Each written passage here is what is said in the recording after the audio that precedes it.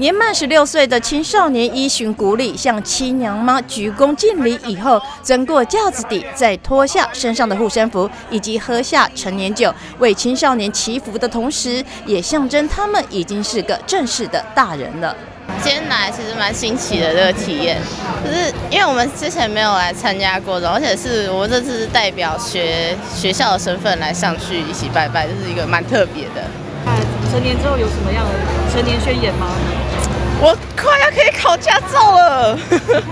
对，就蛮特别的，因为是只有一次机会嘛，因为一辈子只有一次十六岁，那有这次机会可以来参加，而且还是代表学校来的话，我觉得这对我们来说是蛮重要，也是蛮新奇的一个体验，对。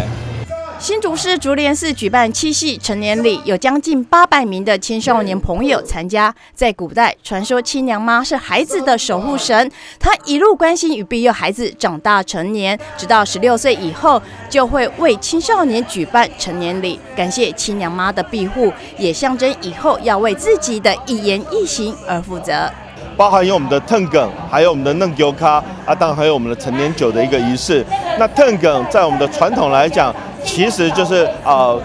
把十六岁啊即将迈向成年的一个重要仪式，那代表了孩子未来要独立负责，然后也要为自己的人生开启新的篇章。那在嫩牛卡的部分，其实就是啊，代表着我们要有谦卑、负责的一个心情啊，所以包含的就是我们谦受益，满招损，勤有功，戏无益，也让我们的这个孩子能够理解我们青牛妈一直以来从小到大照顾我们、保佑我们，现在这个时候也要祝福我们能够在未来的日子展翅高飞。那今天非常开心哦，跟我们新竹市政府哦，邱成远代理市长跟施淑婷处长哦。共同来举办这个七夕成年礼。那今年是我们第八年跟市政府合作来办这个七夕成年礼。那今天也非常的热闹哈，从早上的这个呃腾梗哈、弄酒咖，还有喝成年酒的活动。到下午的这个手作哈，一些创作还有文创的这个市集。